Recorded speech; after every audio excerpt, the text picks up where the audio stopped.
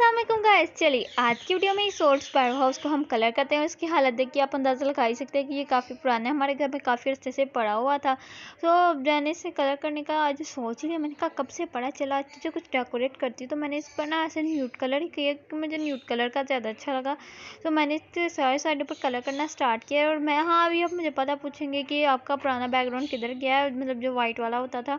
तो वो मैंने हटा दिया क्योंकि उस जगह पर मैंने वाइट ये कलर की और गलती से वो जगह गंदी हो गई तो फिर आप जानते हैं कि घर में आपकी अम्मी है, इज़्ज़त अफसाई होना लाजमी है।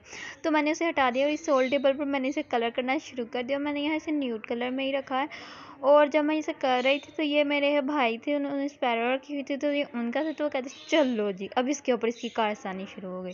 तो मैंने उनको कहा, नहीं नहीं, प्यारा ही डेकोरेट करूँगी। पर करने का ये मुझे तो बहुत प्यारा लगा, पर मेरे घर वालों ने कहा कि कोई चीज़ मत छोड़ना है। आपको कैसा लगा? ये कमेंट में मुझे ज़रूर बताएगा वीडियो अच्छी लगी तो इसे लाइक कीजिएगा शेयर कीजिएगा मिलते अगले वीडियो में तब तक के लिए हाफिज़